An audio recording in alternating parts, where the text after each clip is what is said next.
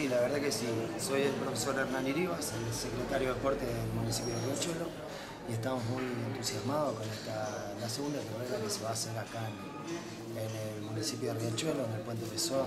La verdad que muchas gracias a la organización por haber elegido nuestra, nuestra zona, nuestro municipio, donde tiene un sinnúmero de, de lugares donde pueden disfrutar de, de los, los, amantes de esta, de esta competencia, de, esta, de estas carreras.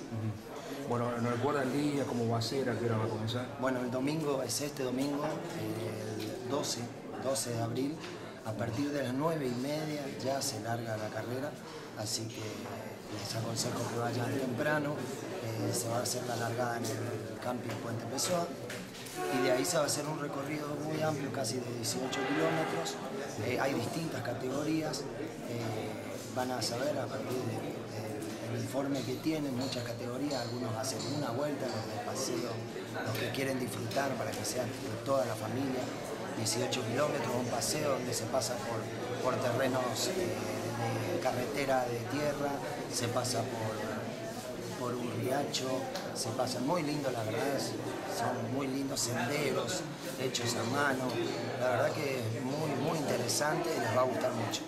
¿Pero lo organiza el municipio y algún otro, alguna otra entidad? Lo organiza la Fundación Martín Bay con René Sartori también y bueno, y nosotros estamos en colaboración directa para todo lo que sea la organización del circuito y le damos todos los medios para que puedan eh, realizar la carrera. Ellos son los organizadores. ¿La primera vez que se realiza este tipo de evento en este en Esta es la segunda, la segunda. Este es el, la segunda fecha del Correntino.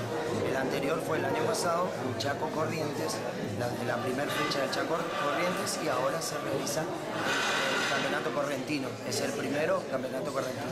La segunda que se hace, pero es un nuevo circuito eh, más amplio y más agradable.